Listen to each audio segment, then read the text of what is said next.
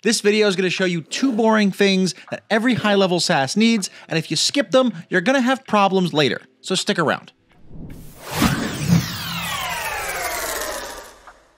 All right, welcome back to my HighLevel SaaS series where I'm documenting my journey to 2,000 users on my HighLevel white label SaaS. Right now, I'm just over 200 users, and I'm gonna talk about some things that I had to learn the hard way and figure out on my own. Now, I'm making this video so you don't have to. So without further ado, let's jump right into it. All right, so the first thing that I want to talk about here is forming an LLC. Now, this is a hotly debated topic. I'm going to preface this all by saying I am not a legal professional. I'm not a tax professional. You should talk to somebody local in your area before doing anything. This video is just going to show you what I did in my thought process behind it when I actually went to go form my LLC. Now, when starting a business in the US, you do not need to have an LLC to start. You can operate as what's called a sole proprietor, proprietor which basically means that you personally own your business and all the income is reported personally on your social security number and you add it to your personal taxes. Most small businesses are actually run this way in America, and that's actually what I did. I ran that way for about six months before I found out that I was actually onto something and took the steps to form an LLC. Now, the reasons you would form an LLC are not for tax purposes. In fact, you can take advantage of most of the same tax advantages that you would get with an LLC as a sole proprietor because you can also deduct business expenses as an individual. The reason why you would start an LLC is to limit your personal liability from your business. You want to basically build a wall between your personal life and your business life. This way, if something goes wrong in your business and somebody sues you, they can't come over and take the house that you have to sleep in every night. That's the only reason why you would get an LLC. And with that said, let's jump right into my computer where I can go ahead I can show you how to apply for one. So basically what I did to get to the IRS website is I went to go start an LLC like most people on the internet will do. And you'll notice there's going to be a lot of ads at the top of this particular search query. As you'll see here, ZenBusiness, at Start Your LLC. LegalZoom here is LLC. Uh, there's going to be a lot of people who actually charge exorbitant markups to do what I'm about to show you here in this particular YouTube video. So uh, what you want to do is if you scroll down here to the limited liability company and you click on it, you'll notice it doesn't actually show you where to apply. So with the search phrase that you're going to use here on Google, and again, I'll leave a link to everything here. But if you go to apply for an EIN, you'll see irs.gov on the bottom here, apply for an em employer identification number. Over there, this is the correct website that you want to be on when you go to apply for your EIN, uh, which is required to get an LLC in your state. That's also another thing that I'd like to clarify. So your EIN, your employer identification number, is done at the US federal level, filed directly with the IRS. That is not an LLC. An LLC takes that EIN and then forms you as a company inside the state that you want to do business, the state that you live in, basically. So what we have to do is we have to go to the IRS directly, get our EIN. It's a free process. It takes about 10 minutes to do. And then we take that EIN and we go fill out paperwork with our state government through their LLC process. And there is a small fee attached to there at the state level. So once you're on this website, again, if you're looking at the screen that looks just like this, you're in the right spot. The number one thing here is hours of operation. You can only apply for an EIN between 7 a.m a.m. and 10 p.m. Eastern Standard Time.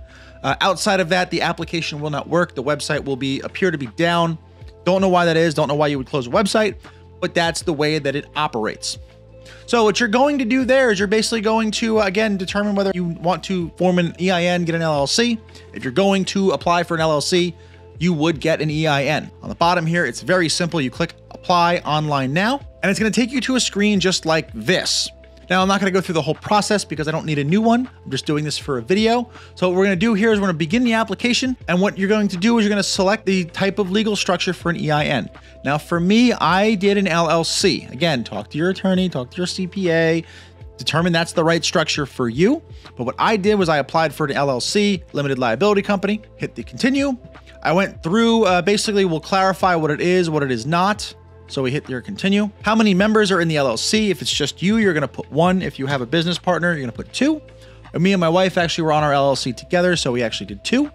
And then select the state and territory where it's physically located. I'm to apply for a Pennsylvania LLC when I'm done with this. I would hit continue. It's to talk about all of the, uh, confirm the selection. We'll hit continue. Now it's saying, why are you requesting an LLC? Let's go here. Let's say I started a new business. Click over here.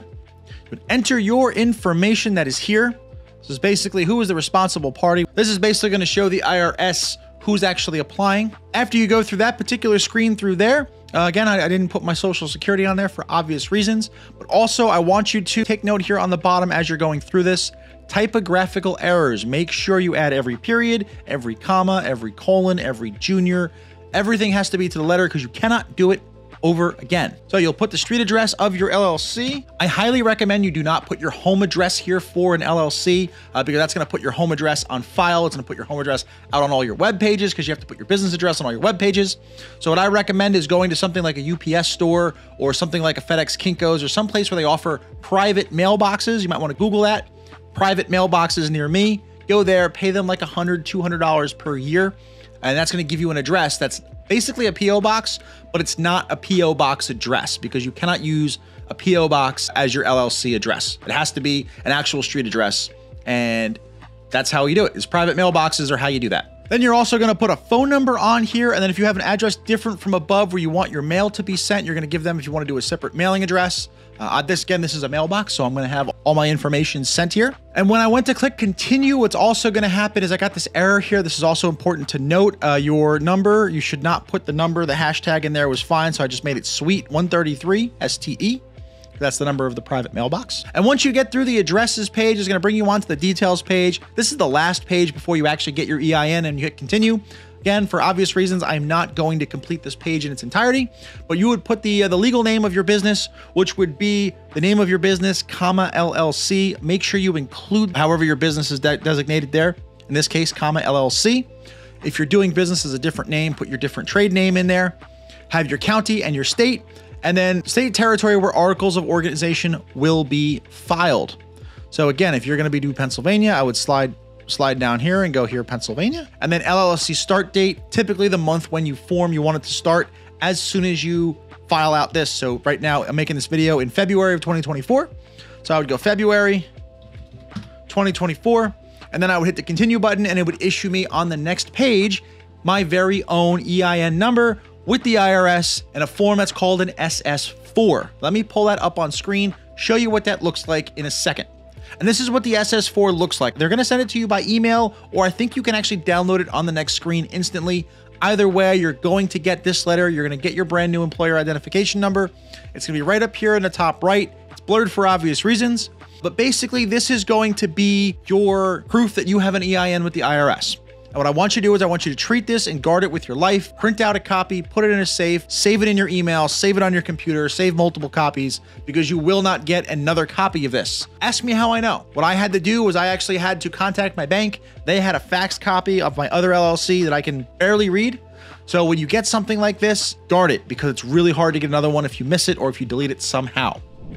But once we have our SS4, that means that we are ready to go ahead now and file our LLC paperwork with the state that we want to go ahead and do business in. But again, when I go ahead and I Google Pennsylvania LLC, you're going to see a bunch of ads of people who are going to want to charge $500 or $1,000 on top of the fee uh, for what I'm going to show you here in this video. So we're to come all the way down here, scroll past the ads, and for me, you want to go to a .gov website. Make sure it's .gov, not .org. Uh, for Pennsylvania, if you go and you end up on this particular page, you're in the right spot. Again, you'll be on your state's Department of State. Again, if you want to Google North Carolina LLC or Kentucky LLC, wherever you're watching this from, you're going to end up on your state's website. Pennsylvania makes it kind of simple. Basically, what they do is they tell us to form, you have to file a certificate of organization accompanied by a docketing statement.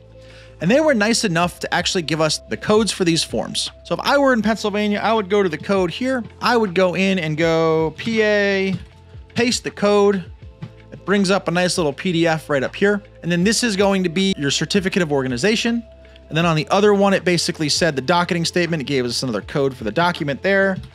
Copy that. We're going to go PA and the code. It's going to bring this one up here. Now here's the docketing statement. So these two forms need to be filled out and filed with the state for me to actually get my Pennsylvania LLC. Now, they give you, at least in Pennsylvania, they give me nice form instructions as to how to fill it out here on the bottom. All I had to do was file that with the actual information. And again, you need your EIN number because your EIN number is on the docketing statement. You have to go to do the IRS first before you can do the Pennsylvania paperwork or the state paperwork. But again, I just fill out the entity name, taxable party, a description of the business activity, which in your our case, if you're doing a HighLevel SaaS company, you would either do marketing agency or software company. One of those two designations is fine. And then uh, fiscal year end, I just make mine with the calendar year end of 1231. It makes it really easy to remember. Uh, once you fill out that, you're also going to fill out, again, fill out this information. It's all the same name, address, uh, EIN number, who's responsible. It basically just puts everything on record with the state. Now, this is not free. This is something, there is a fee attached to this. In Pennsylvania, it's $125. Uh, for my knowledge, or anywhere right between $100 and $200. There is a fee that you're gonna have to file, but again, it's not a huge fee, especially if you're starting a company, there's fees involved.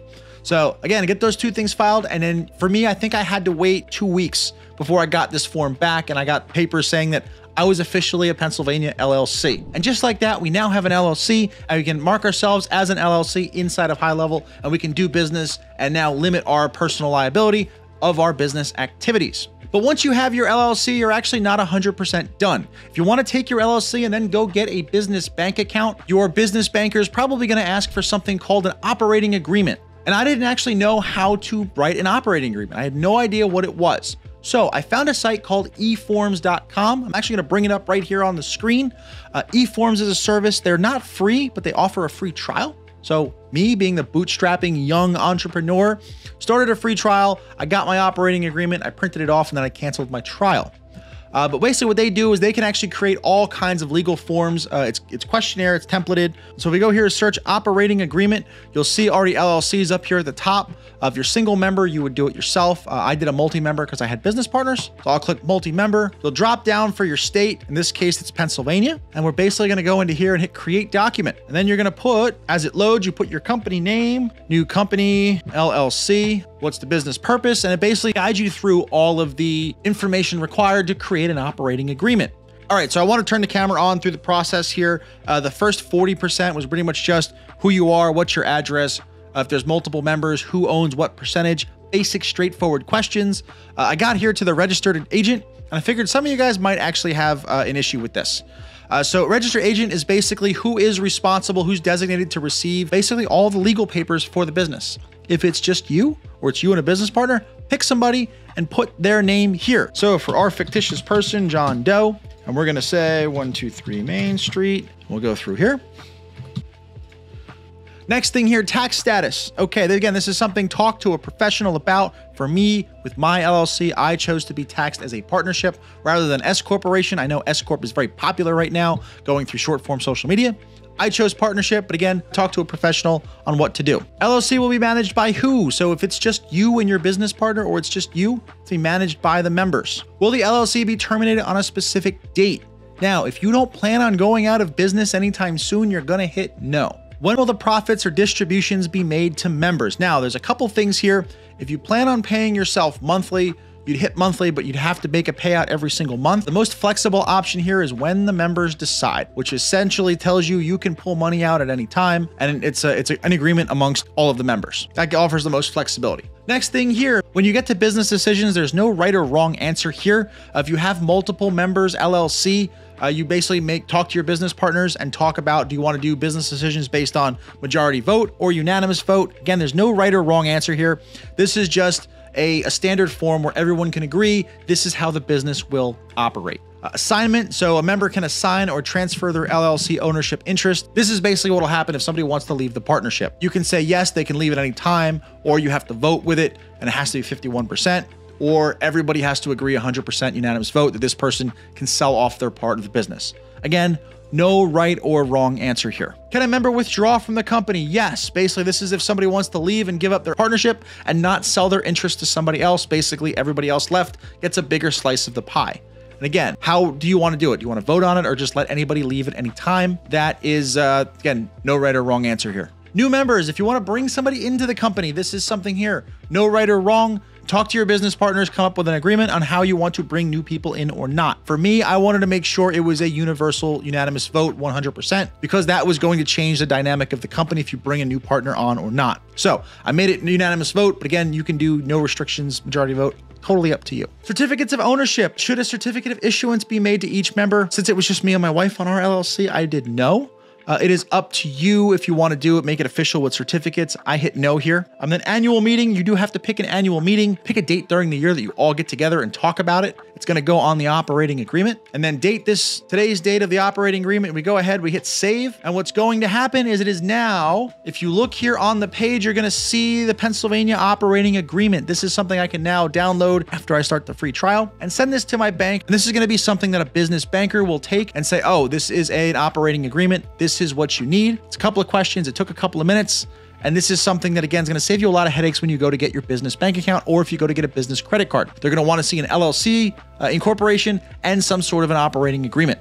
So that does it for this video. I hope this was helpful on your SaaS journey because this is something I had to do a lot of Googling, a lot of research on my own. Hopefully now you've got this video showing you how to do it, where to go to it. I've left links in the descriptions for everything here in the video. And if you like this video, you want to build your own HighLevel SaaS company, subscribe to the channel. I'm actually going to put a free course in the description showing you how to do everything kind of in a step-by-step -step course style format along with a SaaS company snapshot. So hope you enjoyed the video. Again, watch another one up here in one of the corners and I will see you in another video.